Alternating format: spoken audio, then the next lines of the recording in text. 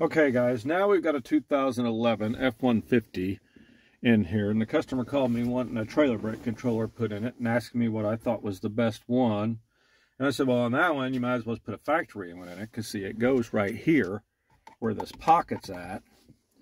And I think it's less than 60 bucks and it you get the you get the brake controller. Um, it comes with the relay and the fuse that you put in the underhood fuse box, and it comes with a little paper telling you what location they go in. So we're going to get this put in here real quick. So to start with, we're going to take out two 7 millimeter bolts up here at the top of the instrument bezel.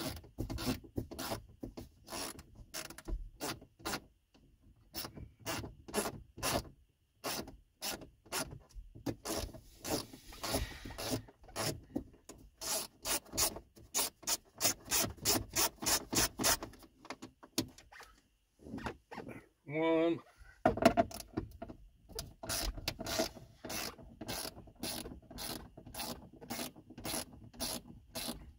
This has to go to the dealer to get programmed, to let it know that it's on there. It's got to be done with dealer diagnostic equipment.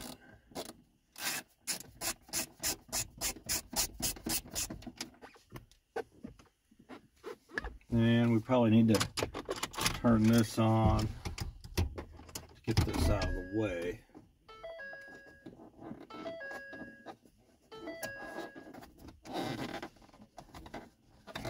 Get a pry tool.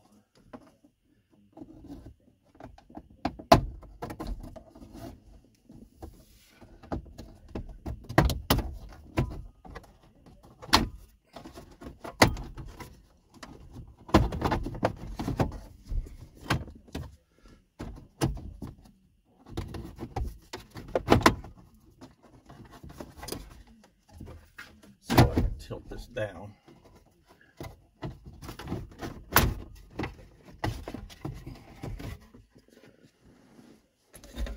Okay. Now, I believe this just pops off. Like so. This I guess is the switches. This is where the four-wheel drive thing is at on mine. I didn't realize it would be wired for that. Set that aside. And the plug for the trailer brake controller should be back here. We've got two 7 millimeter bolts holding this pocket in. So he's going to lose his storage pocket.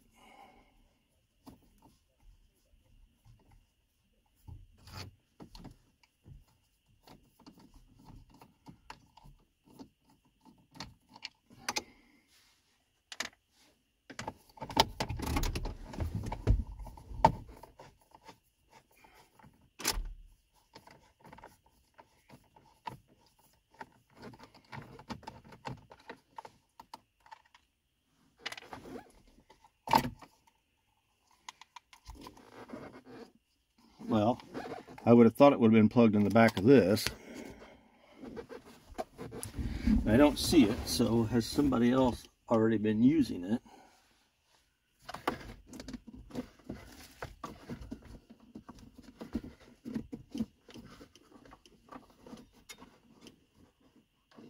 For a different one.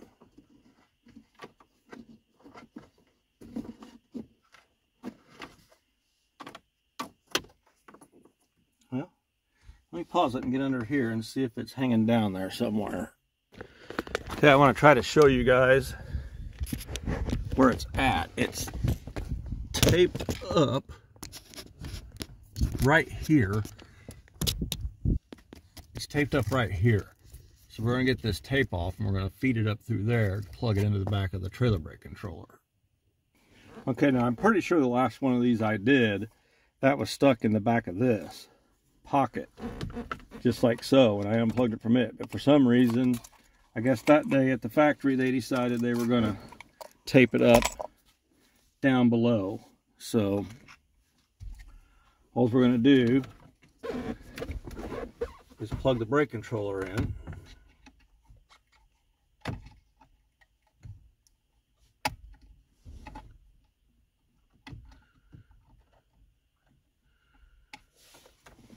You know what? I think there's something else we got to unplug off of it. Yeah, we had to take that off of it. Now, see if we get it plugged in. Well, they didn't give us much slack. Now we got to hold on to this piece to put back up.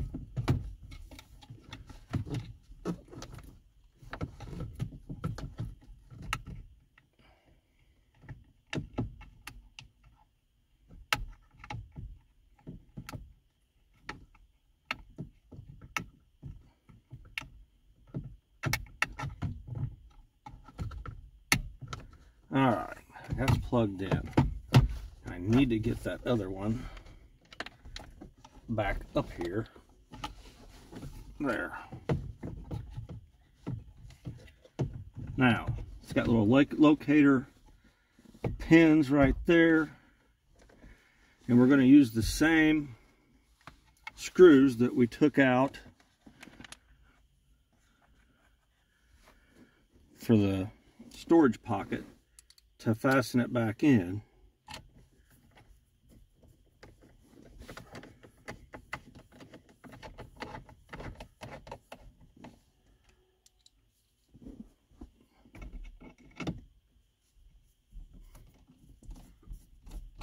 But that was taped up right below this knee bolster.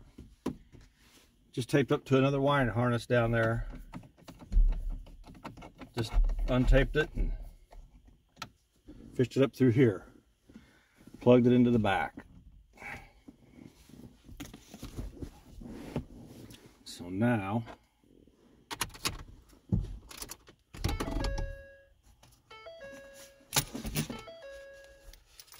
snap this piece back on, plug this back into the back of here. However it was.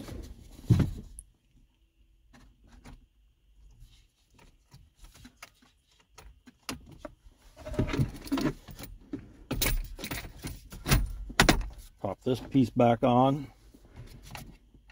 Now we got a trailer brake controller.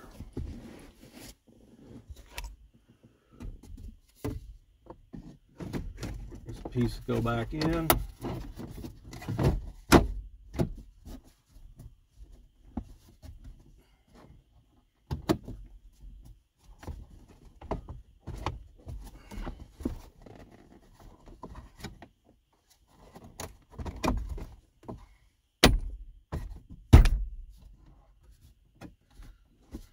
Well, it's not wanting to snap back in.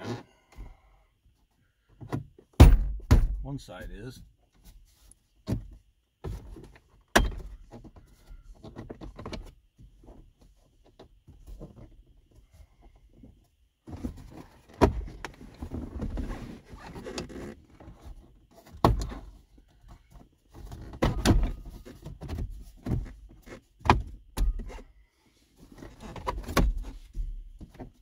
There we go.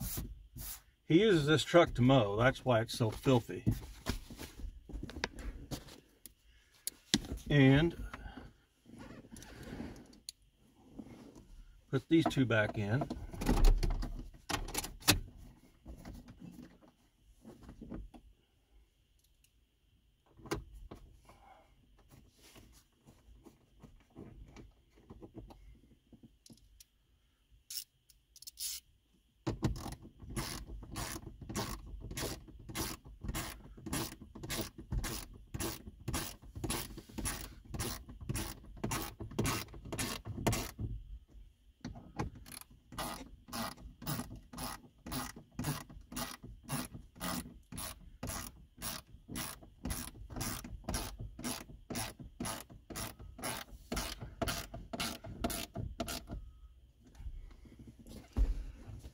That's all there was to that.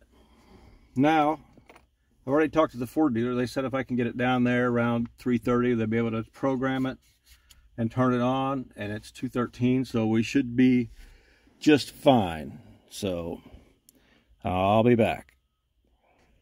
Okay. It does tell us right here in this diagram, I forgot before we head down there, we need to put this circuit breaker and fuse in here, or relay, relay and fuse. So location 9 for the relay and location 21 for the fuse, which is right here.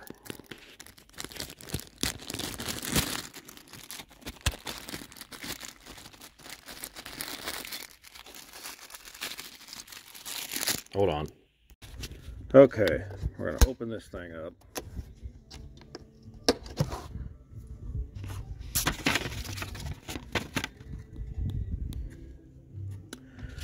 And I believe this thing is a little bit backwards. Yeah, they're showing us the front of the truck, the arrow pointing this way. So this relay is going to be all the way in this back corner, which is this one.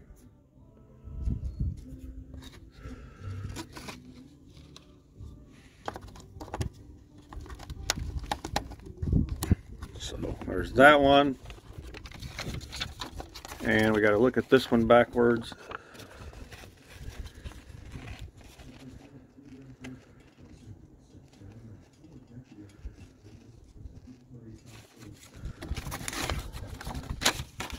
Okay, we're looking at it this way. It's this first row here. We got a big area, two little ones, a fuse, and then 21. Right here, 21. So it's going to go right here. Okay, let's get to the Ford dealer and see if we get this thing programmed.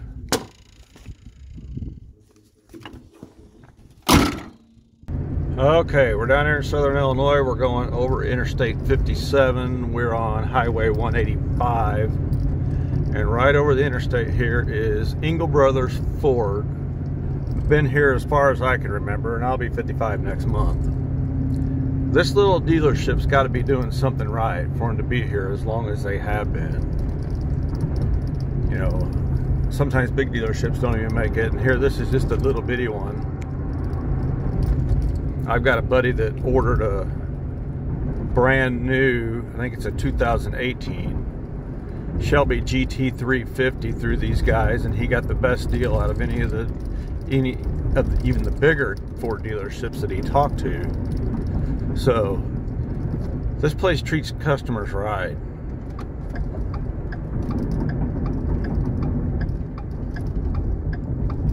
See, just a really extremely small dealership here. I don't know what this guy's doing.